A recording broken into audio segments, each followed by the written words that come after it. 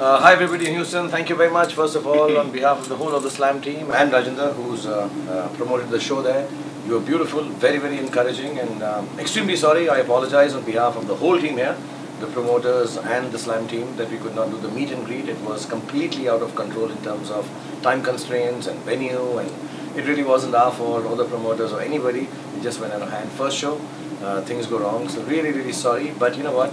Uh, we were very happy that we could perform and you all encouraged us so much and inshallah we'll be back and we'll do all the pictures, all the meet and greet so please do forgive us this time and uh, hopefully in the nicest of way uh, I hope you got slapped. Thank you very much.